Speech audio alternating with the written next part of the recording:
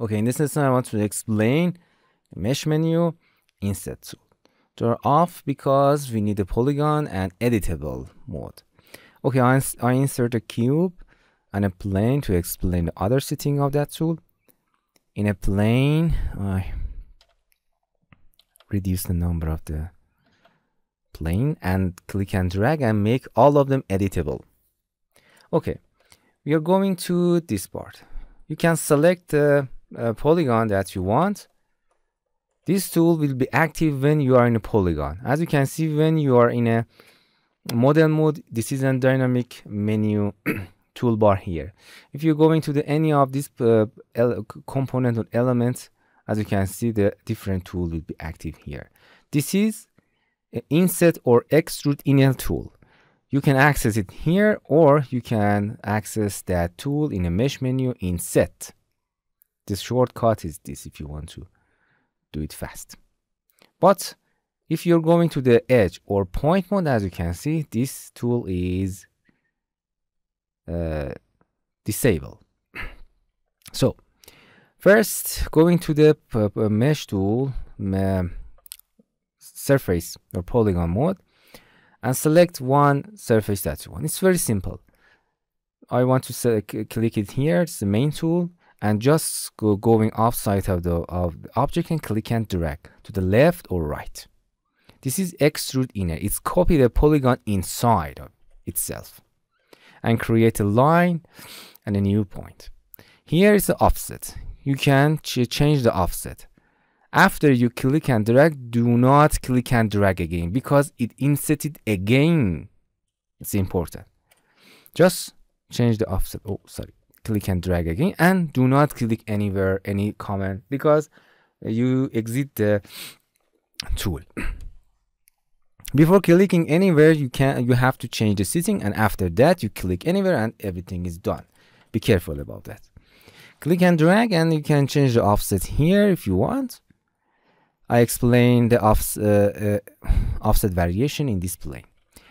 For example, I'm in this plane and I want to extrude in all of those polygons.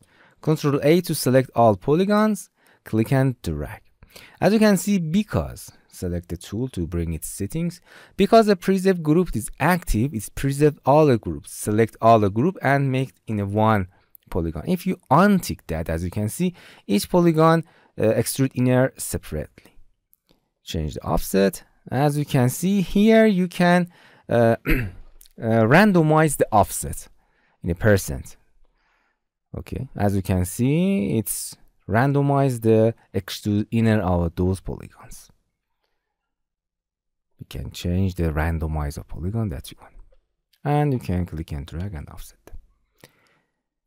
and here the subdivision going to the cube oh sorry control z click and drag as you can see if uh, this is an one polygon. If you increase the subdivision you can add the subdivision here. If you want to create n-gon it's create n-gon for you. And the maximum angle. When you select two uh, a polygon that has a 90 for example in here uh, degree angle mm, corresponding to each other. If you click and drag you can here you can reset value. We have two tabs as you can see. With holding shift you can bring all of tab together. As you can see i extrude inner to polygon. And this preserve group does not uh, appear that does not work here because the maximum angle is below 90 degree. If you bring the angle above 90 degree above that angle that two polygon has have they are preserved group and connect to each other. Pay attention to that as you can see. As you bring the angle above that degree it's the now the uh, preserve group acts here. And you can extrude inner uh, those two polygon together. And change offset. And extrude inner again and extrude inner again and you can uh, doing like this. This is maximum angle. Here you can reset values reset values that you want. For example I want to extrude inner in click and drag. If you have an mm, sitting here and you want to exactly this sitting uh, execute for example on this polygon you don't need to click and drag again. Just click new transform.